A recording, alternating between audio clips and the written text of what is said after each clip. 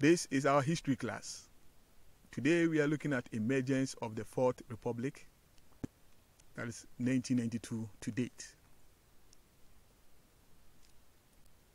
By the end of the lesson, you should be able to state the events leading to the Fourth Republic.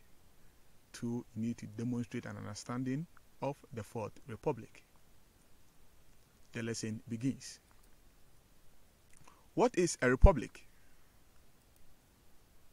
When we say a republic, a republic is a period when a country is ruled by democratically elected president. They rule the country using a constitution. What is a constitution? A constitution is a set of rules used to govern a country. Let's look at Ghana's first republic. A magnificent motor for the first president of Ghana, now a republic. Dr. Nkrumah is head of government as well as head of state. For the last time, the Governor-General's flag was flying in Accra as Lord Listowel, the last to hold office as Governor-General of Ghana, arrived for the ceremonies.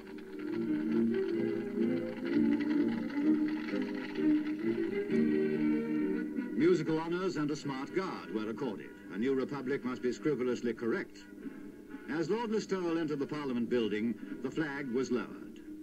A matter for regret? Well, Ghana has chosen to remain in the Commonwealth anyway. There was a banquet to mark this great event in the history of the country, with Dr. Nkrumah making a speech.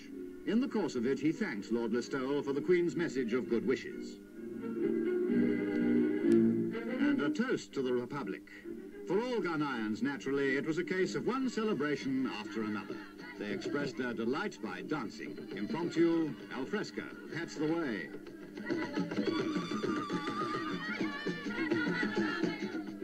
When President Nkrumah, wearing Ghanaian costume for the occasion, drove through the capital, he got a great reception. That was natural enough, too, for he, more than any other man, was responsible for the achievement of this moment.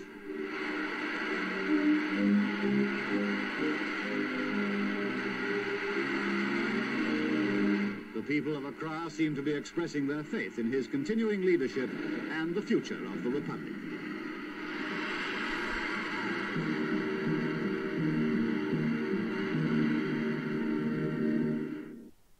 Well, our first republic occurred on the 1st of July 1960. Now let's look at the other republics before the Fourth Republic. Now, just like we saw the First Republic, the president at that time was Dr. Kwame Nkrumah. His presidency lasted for from 1st July 1960 to 24th February 1966. When Ghana gained independence on 6 March 1957, the Queen of Britain, Queen Elizabeth, was still the head of state.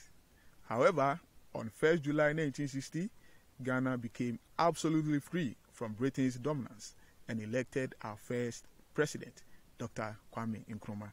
His reign, just like I said, lasted from 1st July 1960 to 24th February 1966, when his government was overthrown by Emmanuel Kwesi Kotoka, ending the First Republic. On 3rd September 1969, Ghana was ushered into her second Republican constitution with Dr. Kofi Abrefa Busia pictured on your screen as Prime Minister and Edward Akufo-Addo as ceremonial president. However, their rule only lasted until 1972 when their government was overthrown by I.K. Acheampong, bringing an end to the Second Republic. The military ruled until 1979 when power was given back to a civilian government and the Third Republican Constitution was established. Two years later, Dr. Hilla Limann's government was ousted out of power by Jerry John Rawlings, ending the Third Republic. So Rawlings ruled until we were ushered to the Fourth Republic. Let's end here and have some few exercises. We will back and continue.